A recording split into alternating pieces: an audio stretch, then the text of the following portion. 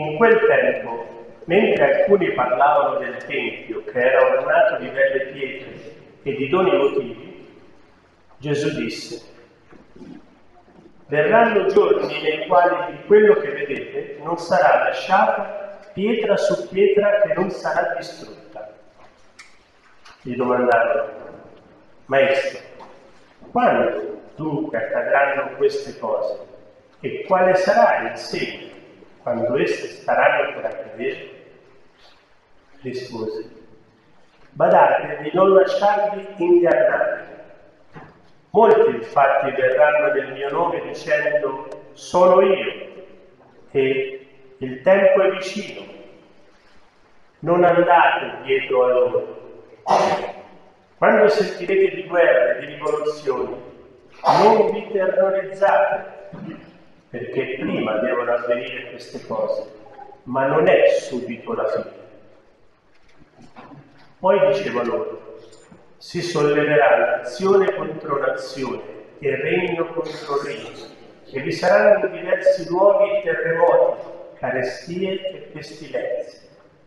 Vi saranno anche fatti terrificanti e segni grandiosi dal cielo. Ma prima di tutto questo metteranno le mani su di voi e vi perseguiteranno, consegnandovi alle sinagoghe e alle prigioni, trascinandovi davanti a re e governatori a causa del mio nome. Avrete allora occasione di dare testimonianza. Mettetevi dunque in mente di non preparare prima la vostra difesa io vi darò parola e sapienza, così che tutti i vostri avversari non potranno resistere né controbattere. Sarete traditi perfino dai genitori, dai fratelli, dai parenti e dagli amici e uccideranno alcuni di voi. Sarete odiati da tutti a causa del mio nome ma nemmeno un capello del vostro capo andrà perduto. Con la vostra perseveranza salverete la vostra vita. È parola del Signore. Linguaggio estremo abbiamo sentito che tecnicamente si dice apocalittico, che non vuol dire di distruzione ma di rivelazione un linguaggio anche di paura, per quella radice di distruttività che conosciamo bene, che è dentro di noi e nelle cose.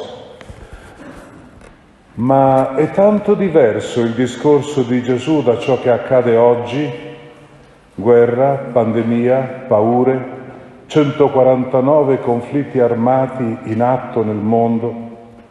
È così diverso da vent'anni fa con le torri gemelle e le guerre esplose a ruota in giro per il mondo. Davvero ci sembra un linguaggio strano se guardiamo a 40 anni fa, ai tempi del terrorismo in Italia, a quello che si diceva allora.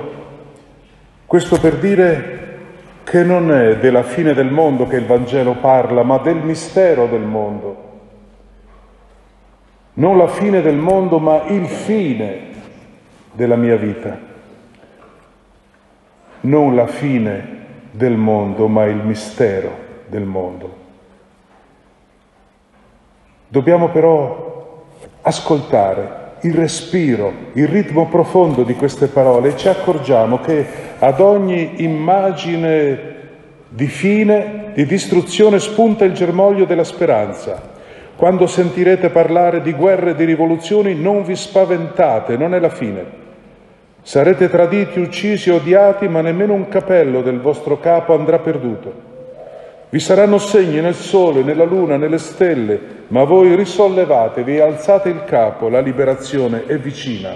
Vedete che bello, ad ogni descrizione di dolore segue un punto di rottura, dove tutto cambia, quasi un parto, o un tornante che apre l'orizzonte, la breccia, la feritoia della speranza. Non vi spaventate, non è la fine, neanche un capello, risollevatevi. Il mondo non finirà nel caos, ma in un abbraccio. Non finirà nel fuoco di una guerra atomica, ma nella bellezza, come abbiamo pregato all'inizio. E al di là dei falsi profeti, al di là di guerre e tradimenti, ecco quella espressione struggente. Neanche un capello del vostro capo andrà perduto che il Vangelo di Matteo ha raddoppiato così, i capelli del vostro capo sono tutti contati, non abbiate paura.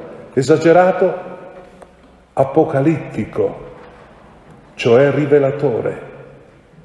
Esagerato forse, ma così bello, il niente dei capelli per dire che qualcuno mi vuole bene frammento su frammento, fibra su fibra, lacrima su lacrima, e lo sai che niente è insignificante della persona alla quale vuoi bene.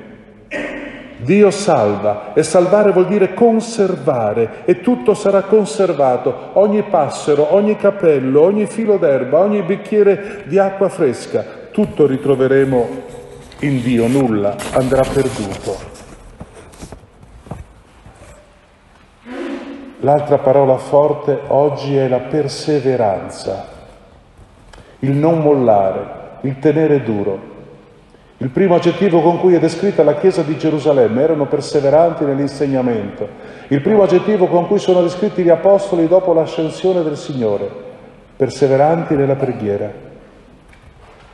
Sulla terra intera e nel piccolo campo dove io vivo si scaricano ogni giorno rovesci di falsità, di bugie, di fake news, di violenza. Cadono piogge corrosive. E io che cosa posso fare? prendermi cura di un metro quadrato di vita. Io devo usare la tattica del contadino, rispondere alla grandine piantando nuovi frutteti e per ogni raccolto di oggi perduto perseverare a prepararne uno nuovo per domani, seminare, piantare, attendere, perseverare, vegliare sulla vita che nasce.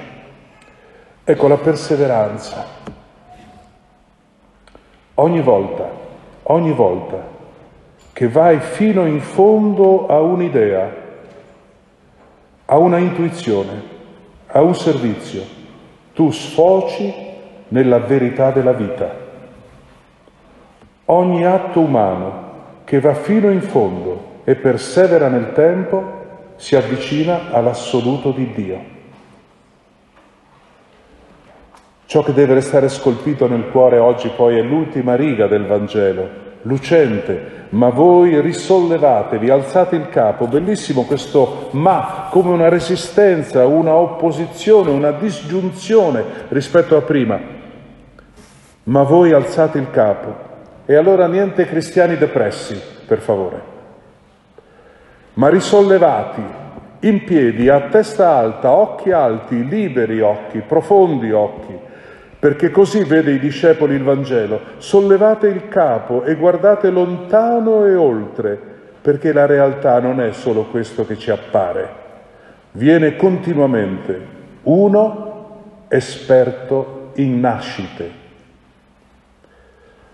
Una poesia di Clemente Rebora dice, mentre il creato ascende in Cristo al Padre nell'arcana sorte, tutto è doglia di parto, quanto morir perché la vita nasca.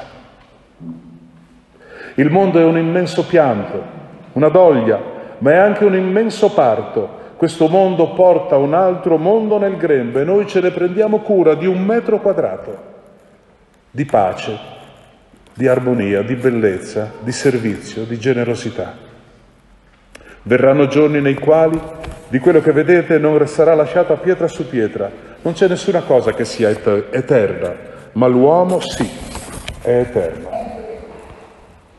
Un giorno non resterà pietra su pietra delle nostre magnifiche costruzioni, delle piramidi millenarie, della magnificenza di San Pietro, ma l'uomo resterà per sempre, frammento su frammento, nemmeno il più piccolo capello andrà perduto.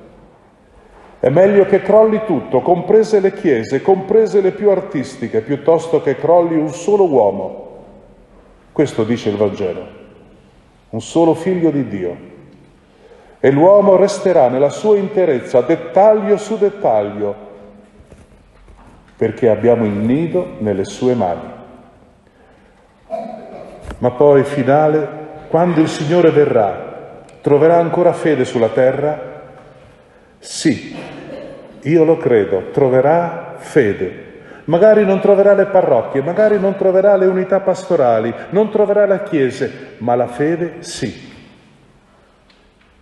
La fede di quelli che credono che l'amore è più forte della cattiveria, che la bellezza è più umana della violenza, che la giustizia è più sana del potere e che questa storia non finirà nel caos, ma dentro un abbraccio, dentro la forza di un abbraccio che ha nome Dio.